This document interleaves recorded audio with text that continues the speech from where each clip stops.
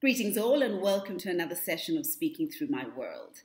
Today, I would like to look at the power that we hold in knowing what our rights are, and then, secondly, look at how society at large can really help victims and survivors of abuse uh, within their own personal capacity. For starters, let's let's understand and unpack what our rights are when opening up a case at a South African police station.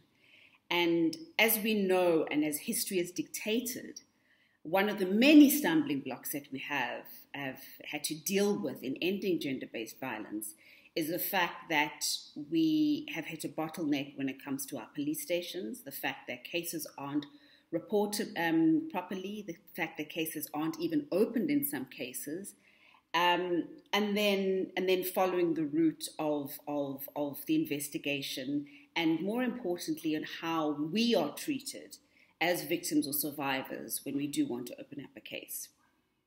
Now, the first bit of advice, and, and I need to acknowledge the WISE Collective, because this was an, an incredibly important piece of advice that they gave me when opening up a case, is that when you've made that decision, and it's a huge decision that you want to go to the, the judicial route and you want to open up that case, is that write it all down on a piece of paper.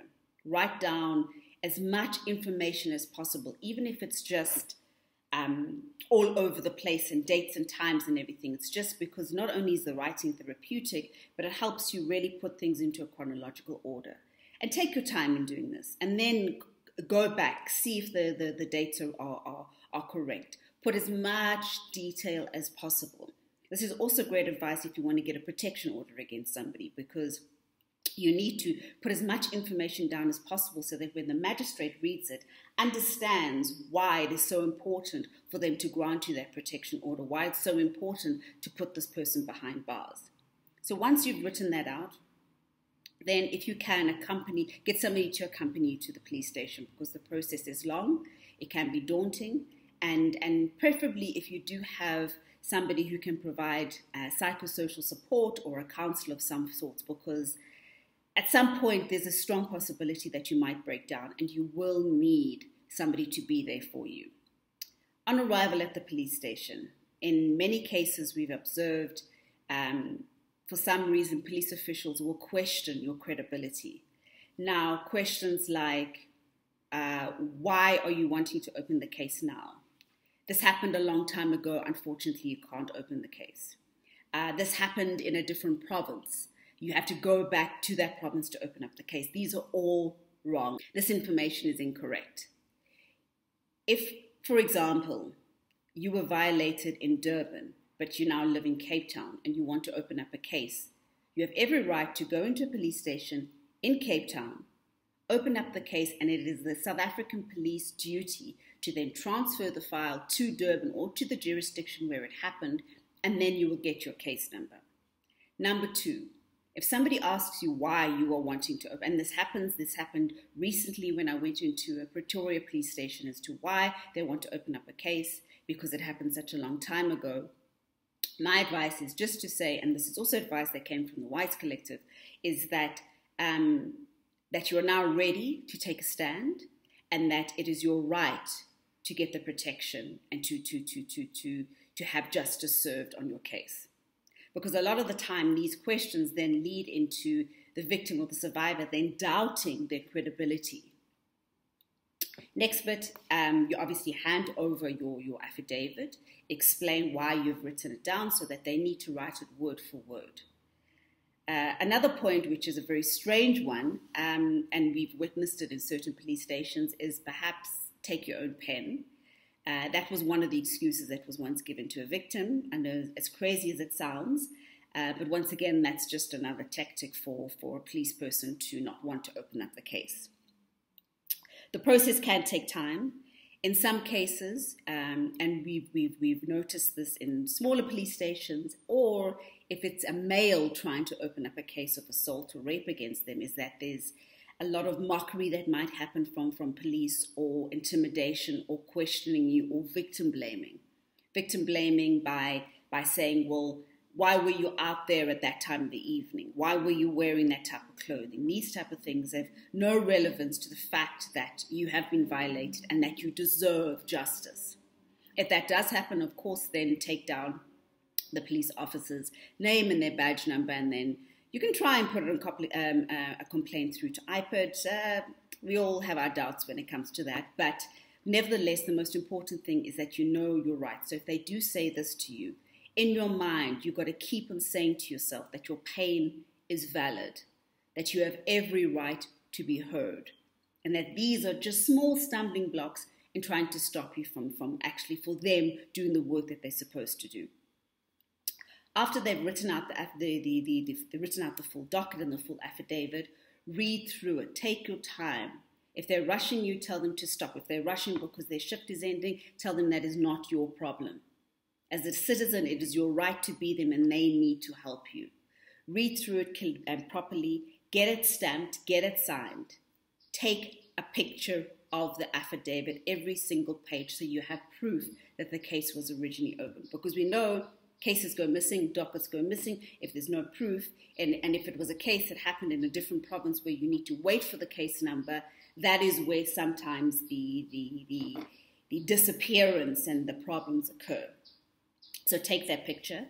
Um, if possible, ask when when the case number will will, will, will, will be then sent to you, and then you, you, you continue to proceed with your life. Um, another another issue that we've seen is that there's also a lack of sensitivity. And um, in my case, with, with, with, with one of our survivors this week, was that when the survivor started to break down in telling the story, the police kept on going and kept on asking questions. And granted, that is what might happen in a court case, but when you're getting the case open, you don't need to go through that secondary level of victimization. And that is why it is so important for you to take through your counselor or your legal representative. So that if any time you need to breathe or cry or scream, you should be given that right and you should be given that respect to do so with moving on to, to other cases and how many people say, well, you know, how can we get involved and we don't have resources or we don't have the financial um, backup to help um, support organizations. We, what I always say is that look in your immediate space. How can you help within your immediate space? Are you acknowledging if abuse is happening within your family?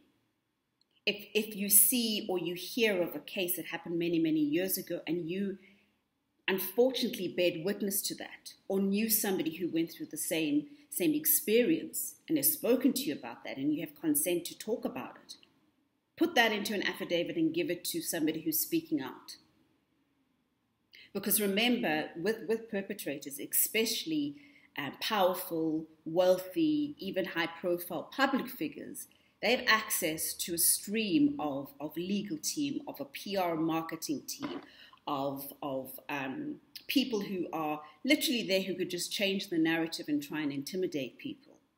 And if you don't have enough evidence for your case, but there's been a trail of events that are very similar with other people and other cases have been reported, that could also be helping a case.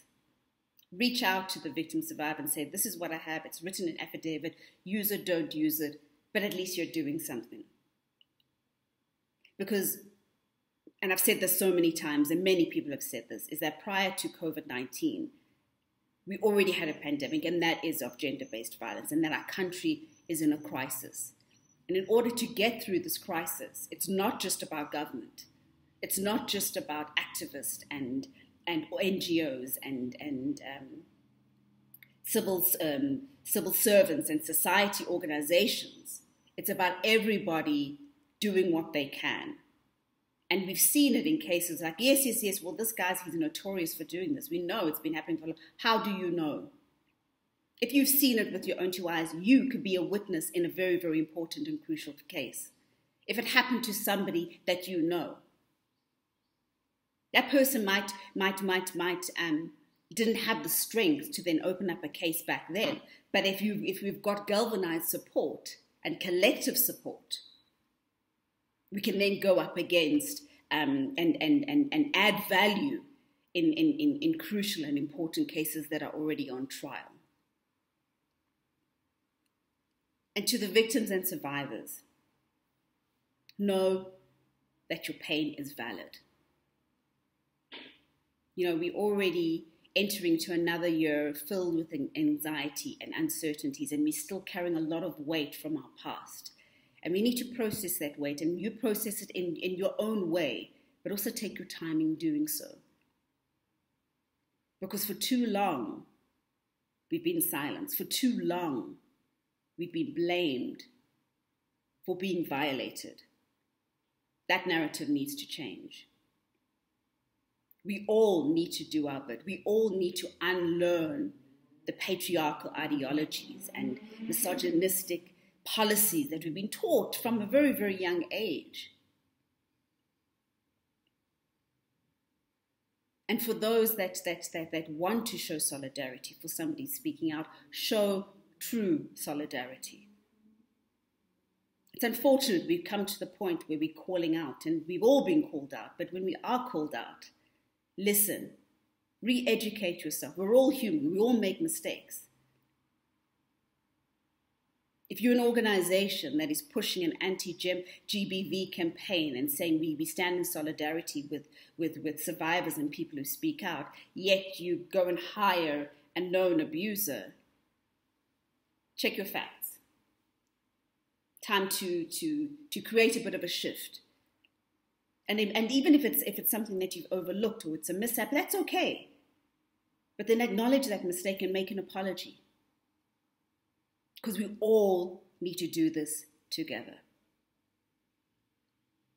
Should you or anybody else know or need assistance, uh, in terms of counseling, referrals to shelters, um, another thing is also life coaching, because often we've been placed in, in, in, in circumstances where we violated and going back to our place of work or environment can be incredibly triggering.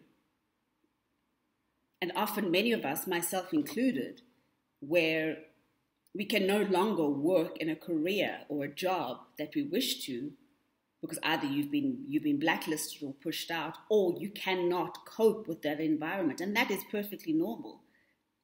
Because post traumatic stress can attack your body at any point in time and you have no control over that. So looking at other ways and what other crafts or, or skills that you do have so that while you're going through this, this healing, you're also creating coping mechanisms to deal with that healing, but also able to survive. Because we all need to work, we all need to earn money. We all want to aspire to something, well, most of us do. And so that is also just another avenue is looking at that if you've, if you've been traumatized or if you've been through so much and you're in this space and you feel that you've hit a dead end, sometimes that mediation with, with um, with somebody else just to guide you. Because often when we, in fact, not often all the time, is that when we've gone, when we've gone through this abuse and we've gone through this trauma, we block out what we call the low-hanging fruits of things that we that we that we own. So whether it's a skill that we have or passions that we follow, because this trauma has consumed us, and rightfully so. And so life coaching or counseling and healing kind of like opens up that pathway. It lets, lets us smell those roses again. It also makes us understand and lets us be heard. Because for too long we haven't been heard. Too long we haven't been validated. And please, once again, your pain is valid. Should you need any, any guidance or referral or counseling or life coaching, please just uh, pop me an email that is litzatsihealing at gmail.com. And of course, the details are on the screen at the moment. Thanks so much for listening. Take care.